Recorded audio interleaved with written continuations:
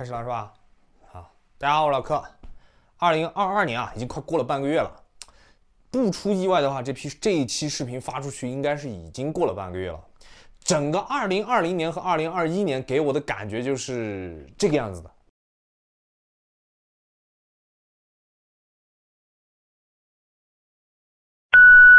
啊，我相信你也肯定有这种感觉，对吧？啊，我去年其实也做过一期关于预言的视频。但是在去年那一期视频里面啊，那一些预言一条都没有中，从八八万加啊到火星男孩，从 KFK 到光明会卡牌，所谓的这些预言啊，一条都没有中。哎，啊，我记得那个光明会卡牌上面有那个东京奥运会会出现什么事故是吗？对呀，是出事故了，延期一年，但跟他八竿子打不着。对，他说的好像是爆炸还是什么？对，他说是那个什么国会。呃，什么百货市场会爆炸？反正对，就就所以呢，在二零二二年到来之际啊，我们再做一期语言视频。但是鉴于上一次视频的情况啊，我决定换个方式。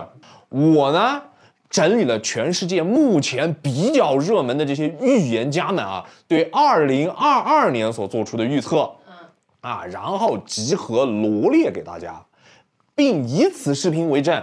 到二零二三年的时候，我们回头来看这些预言家们，谁是胡诌，谁是真的预言家啊？啊，好，下面呢，我们就来介绍一下出场的预言家。哎，第一位要介绍呢是来自马来西亚的著名预言家郑伯健。哎，他被誉为现代历史上预言命中最多的人。他用的预言武器是我们中国的奇门遁甲。据说啊，他在二零二零年和二零二一年的十四个预言兑现了十三个。他曾经预言了二零二零年初的蝗灾、拜登上任，还有二零二一年的德尔塔和奥密克戎变种病毒。现在啊，他在油管上频道有了十万的粉丝了。哎，第二位是来自英国的通灵预言家克雷格·汉密尔顿·帕克。帕克啊，是通过欧洲古老的占星术来预测未来的。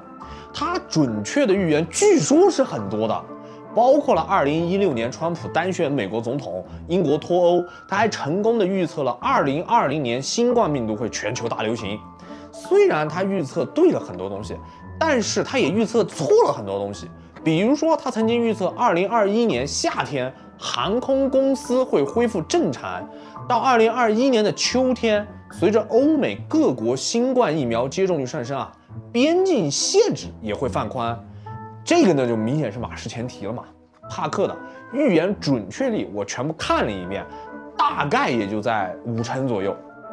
他在油管上的频道啊，也将近有十万的粉丝了。嗯，第三位就是目前特别特别特别红的印度神童阿比亚阿南德，他所有的预言都是根据印度古老的吠陀占星术对天体运动的推演而得出的。他曾经准确地预言了从新冠变种病毒爆发到二零二一年九十月份的疫情情况，包括德尔塔、奥密克戎的出现。在六月份啊，他根据吠陀占星术的预言，他预言了大部分的欧洲国家、美国、印度、日本会发生的大事。他预言不久之后啊。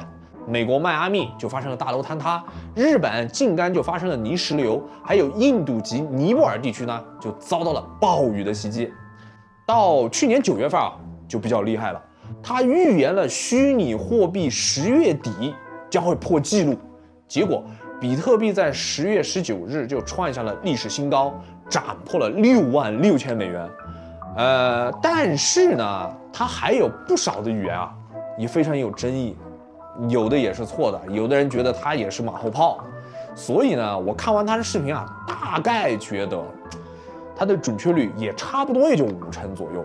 啊，他目前在油管上的频道啊，大概有一百一十万的粉丝。现在是第四位要出场的预言家了，这个预言家就非常著名了啊。但是呢，他在这四位总共要出场的预言家里面呢，也是争议最大的。他就是四百年前的预言家诺查丹马斯，他写了一本非常著名的预测书《诸世纪》。这本书啊，就和我们中国的推背图啥的是一样的，用抽象隐晦的诗句来暗示人类未来将发生的事情了。呃，也因为这种表达方式比较隐晦，所以呢，往往只有那件事发生了之后啊，人们才会后知后觉的觉得，哦，诺查丹马斯原来预测过这件事情。诺查丹马斯的预言准确率就仁者见仁，智者见智了啊。有的人觉得非常准，有的人就觉得这这家伙完全是胡说，朱世基就是骗子。啊。但是呢，呃，二零二一年开始啊，英国《每日有新报》《每日新报》认为啊，诺查丹马斯是个非常伟大的预言家。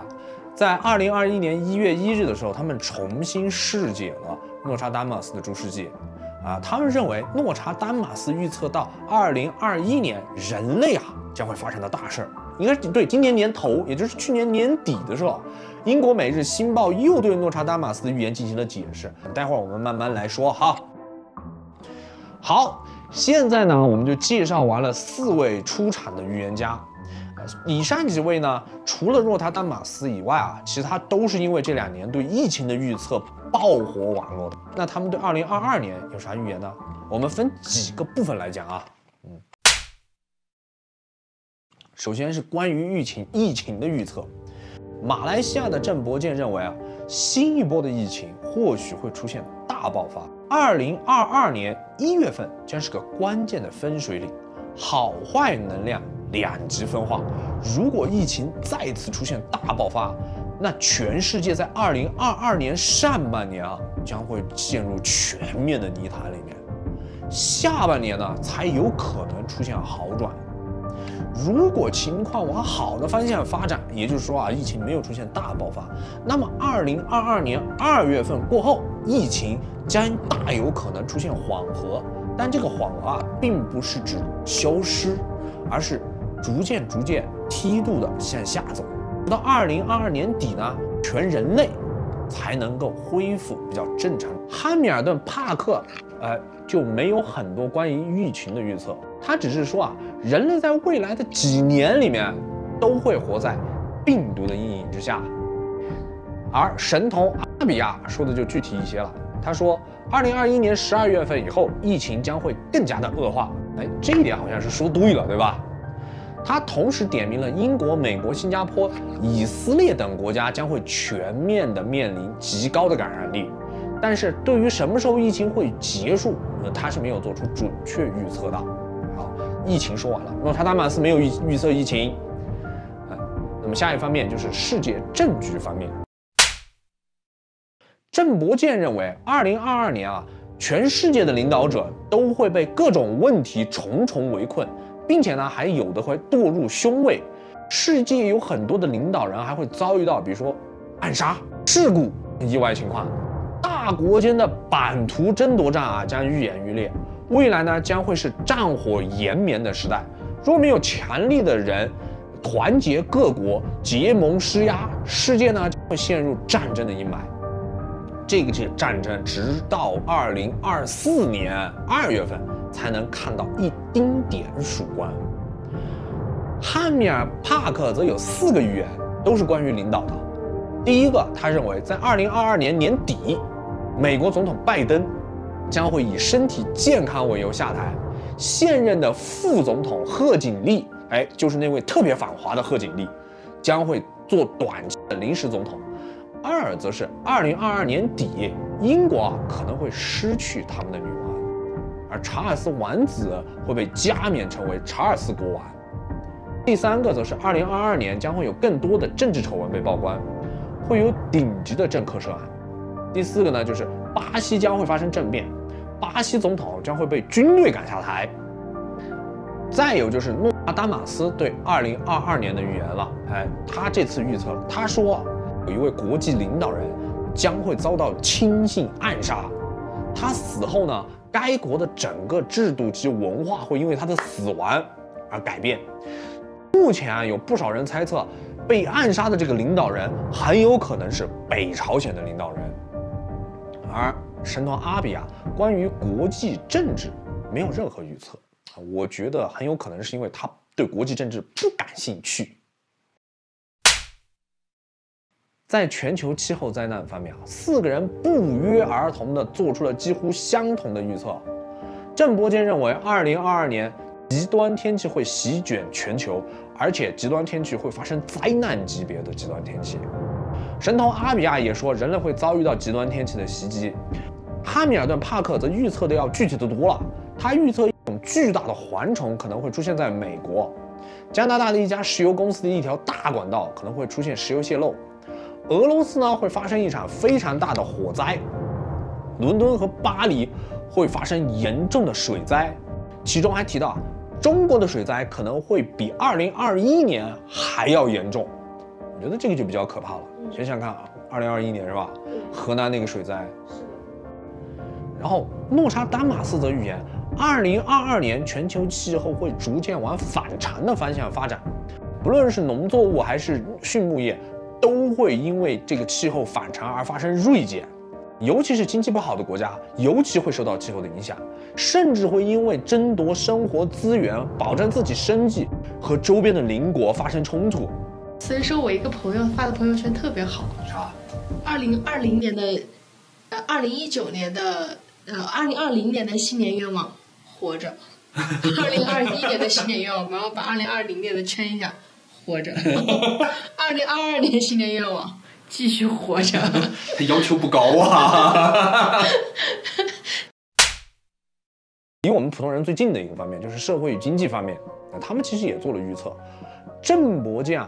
虽然没有针对二零二二年的社会危机和战争做出具体的预测，但是他说啊，二零二二年是三元九运中的第八运艮土的最后两年，世界马上就要进入第九运离火运啊，刚好二零二二年是艮土运的最后两年，以我们的时代呢已经开始受到以离火为代表的第九运的影响，而离火代表什么呢？